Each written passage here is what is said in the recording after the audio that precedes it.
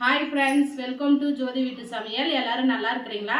இன்னைக்கு நம்ம என்ன பார்க்க போறோம்னா சூப்பரான சிக்கன் தம் பிரியாணி தான் செய்ய போறோம்.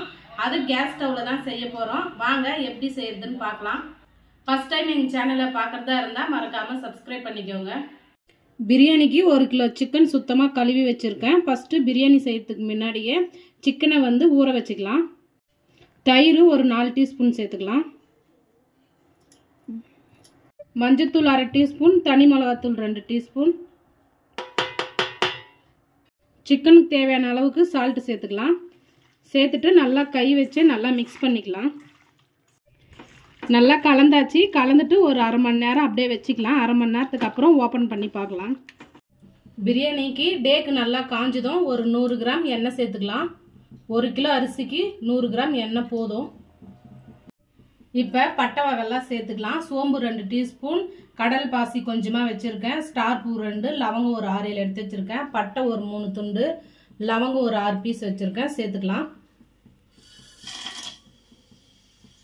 பிரியாணி எல்லாம் ஒரு நாலு சேர்த்துக்கலாம். பெரிய வெங்காயம் வந்து இரநூறு கிராம் நீல நீளமாக நறுக்கி வச்சுருக்கேன். அஞ்சு பச்சை மிளகா ரெண்டு ரெண்டாக உடச்சி வச்சுருக்கேன். பட்டை வகை பொறிஞ்சது இப்போ இதை சேர்த்துக்கலாம்.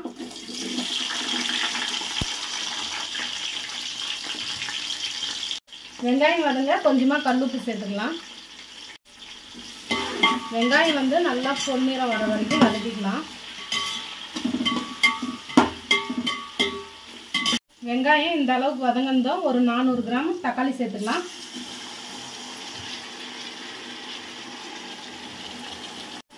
பிரியாணிக்கு தக்காளிக்கு தேவையான அளவுக்கு இப்போ சால்ட்டு சேர்த்துக்கலாம்.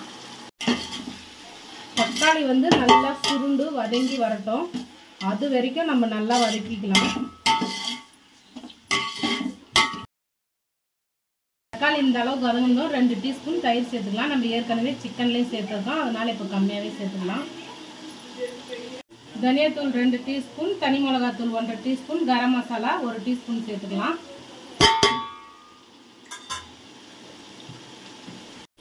இஞ்சி பூண்டு பேஸ்ட் வந்து ஒரு அஞ்சு டீஸ்பூன் சேர்த்துக்கலாம். சேர்த்துட்டு கலந்துக்கலாம் நல்லா.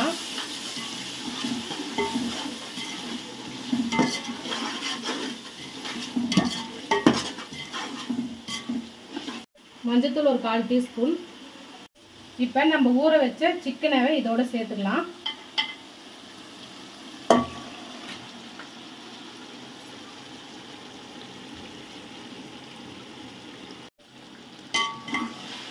சிக்கன் சேர்த்துட்டு எல்லா பக்கமும் நல்லா மிக்ஸ் ஆகிற மாதிரி கலந்துக்கலாம்.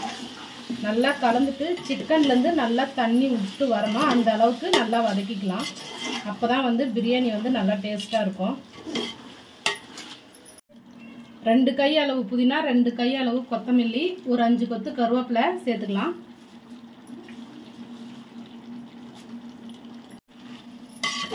இப்போ இதவே நல்லா கலந்துக்கலாம்.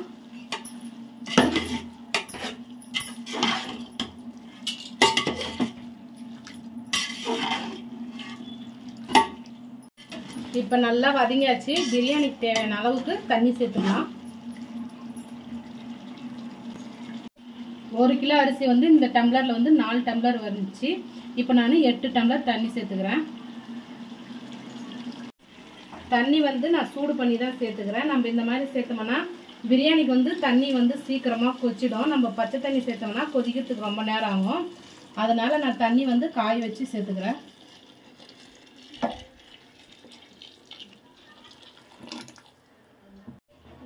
தண்ணி சேர்த்துட்டு நல்லா கலந்துக்கலாம். கலந்துட்டு உப்பு காரம்லாம் கரெக்டாக இருக்கான்னு பார்த்துக்கலாம். பார்த்துட்டு இது தண்ணி வந்து நல்லா ஒரு அஞ்சு நிமிஷம் கொதிக்கிட்டோம். அது வரைக்கும் வெயிட் பண்ணலாம். இப்போ பிரியாணிக்கு தண்ணி நல்லா கொதிக்குது. இந்த சமயத்தில் வந்து ஒரு லெமனை வந்து புளிஞ்சு வச்சுருக்கேன். அந்த தண்ணி சேர்த்துக்கலாம். கொட்டெல்லாம் இல்லாமல் தண்ணி மட்டும் சேர்த்துக்கலாம். சேர்த்துட்டு நல்லா ஒரு கலர் கலக்கிடலாம். கலக்கிட்டு இப்போ அரிசி சேர்த்துக்கலாம். ஒரு கிலோ ரைஸு. இது சாதாரண சோனா மசூர் ரைஸ் தான். நல்லா அரை மணி நேரம் ஊற வச்சு சுத்தமாக கழுவி இப்போ சேர்த்துக்கிறேன்.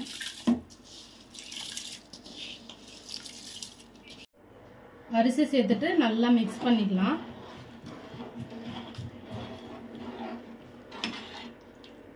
இப்போ கலந்தாச்சு. இப்போ ஒரு பிளேட் போட்டு மூடிக்கலாம். இப்போ தம்மு போகிறதுக்கு வந்து இதுதான் கரெக்டான ஸ்டேஜ் கரெக்டாக அரிசியும் தண்ணியும் சமமாக இருக்குது இப்போ வந்து நம்ம தம்மு போட்டுக்கலாம்.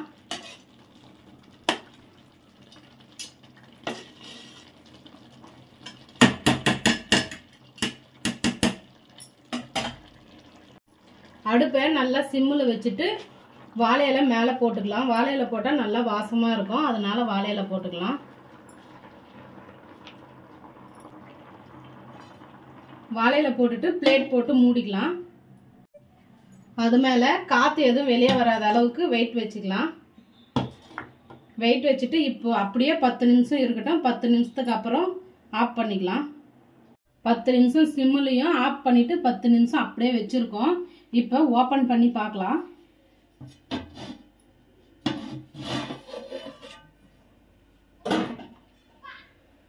பாருங்கள் வாழை இலை மேலே தண்ணியெல்லாம் இருக்குது பார்க்கும்போதே செம்ம வாசனை. அரிசியெல்லாம் நல்லா வெந்து சூப்பராக இருக்குது இப்போ இந்த வாழை இலையில் இருக்கிற தண்ணியவே அழுக்க அப்படியே எடுத்துக்கலாம்.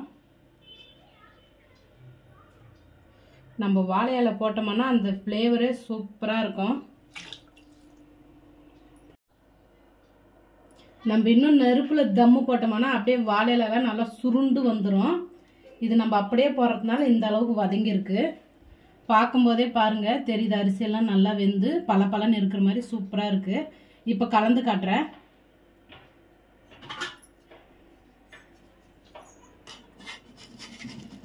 பிரியாணி வந்து எப்பவுமே இப்படி ஓரமாக விட்டு தான் கலரணும். நடுவில் கரண்டி வச்சோம்னா அரிசியெல்லாம் உடஞ்சிடும். பாருங்கள் சூப்பராக வெந்திருக்கு. அதுவும் உதிரி உதிரியாக நல்லா இருக்குது குழஞ்சியும் போல் வேகாமையும் இல்லை.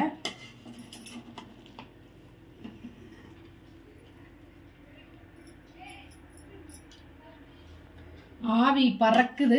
ஆவி பறக்க சூப்பரான சிம்பிளான தம் பிரியாணி ரெடி. வாங்க இப்போ டேஸ்ட் பண்ணி பார்த்துடலாம்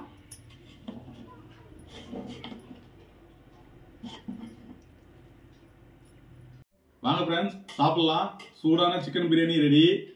சைடிஸ் பார்த்தீங்கன்னா மீன் சிக்ஸ்டி ஃபைவ் செஞ்சுருக்காங்க. சூப்பராக இருக்குது பார்க்கறதுக்கு வாங்க எப்படி இருக்குன்னு டேஸ்ட் பண்ணி பார்த்துடலாம் பிரியாணி பார்த்தீங்கன்னா நல்லா பல பலான உதிரி உதிரியாக இருக்கு.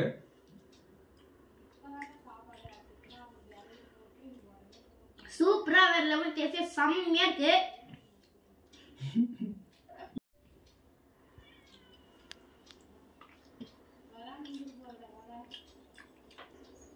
சூப்பராக இருக்கு.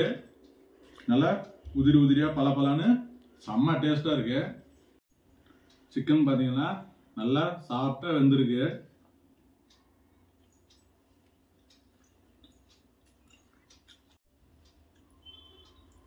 சைடிஸு சூப்பராக இருக்கு. செம்ம காம்பினேஷனாக இருக்கு. சூப்பரா வேற லெவல் டேஸ்ட் செம்மையா இருக்கு. இந்த மாதிரி வீடியோ எல்லாம் உங்களுக்கு பிடிக்கும்னா மறக்காம எங்கள் சேனலை சப்ஸ்கிரைப் பண்ணின்னு பக்கத்தில் இருக்க பெல் பட்டனை ப்ரெஸ் பண்ணிக்கோங்க. பாய் பாய்